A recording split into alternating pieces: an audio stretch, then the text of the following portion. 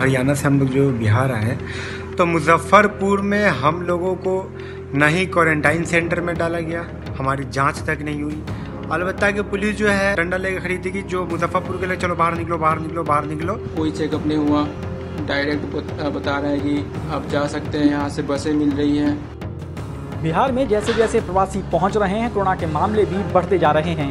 31 मई तक 17 लोगों की कोरोना की वजह से जान जा चुकी है और करीब 3800 से ज़्यादा लोग कोरोना पॉजिटिव हैं, जिनमें से 2500 लोग प्रवासी हैं। जब एक तरफ़ कोरोना लगातार अपने पाँव पसारता जा रहा है और लाखों लोग बिहार वापस लौट रहे हैं, ऐसे में ना ही वहाँ पे मुस्तैदी के साथ लोगों की थर्मल स्क्रीनिंग हो रही है, ना ही कोई टेस्टिंग हो रही है और ना ही लोगों को क्वारंटीन सेंटर में रखा जा रहा है।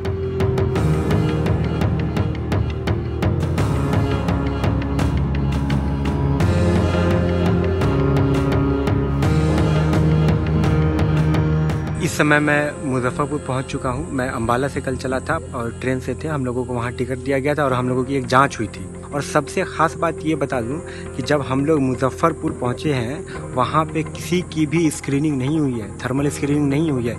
न किसी से पूछा गया कि आप बीमार है, आपको खांसी खांसी है, आपको क्या दिक्कत है? सीधे बोला गया जो दूसरे डिस्ट्रिक्ट के लोग हैं, वो दूसरे साइड चले आए, उनको बस से भेजा जाएगा और जो मुजफ्फरपुर के लोग हैं, वो बाहर की तरफ़ चले जाए। जब बाहर जाकर देख रहे हैं, हम लोगों को लगा जाँच वाँच होगा। कोई जाँच का ये नहीं है, कोई स्क्रीनिंग का ये नहीं है, सुविधा नहीं है वहाँ पे।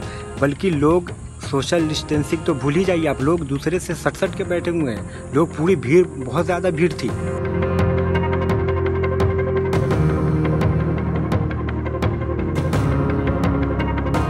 श्रमिक ट्रेन से निकले थे, मुंबई से, वीटी से। हमारी गाड़ी को जाना था छौकी, मुगलसराय होते हुए पटना।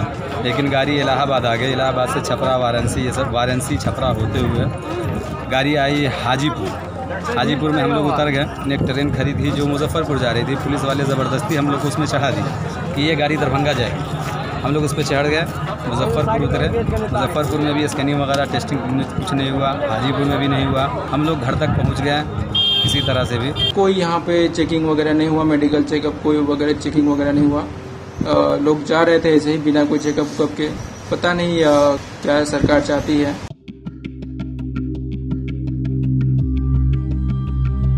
जब वहाँ से लोग उतरे तो प्रशासन क्या कि मारने के लिए ये की कि जो है, तुम लोग ये करो, आगे बढ़ो आगे बढ़ो। तो लोग कह रहे, यार, पहले ही से परेशान है तुम यार, मार के और क्या परेशान करे उसके बाद कहे कि, जाओ बाहर, जाओ, जहाँ जाना है जाओ, जो करना है करो। कोरोना जो है, कहाँ से फैल रहा है? यही से तो फैल रहा है। एक को भी अगर ज़रा सा हुआ, मोहल्ले को, समाज को, घर को, गाँव को, शहर को, सबको ले डूबेगा। इसका जिम्मेदार कौन है? कहीं ना कहीं तो सरकार जिम्मेदार है।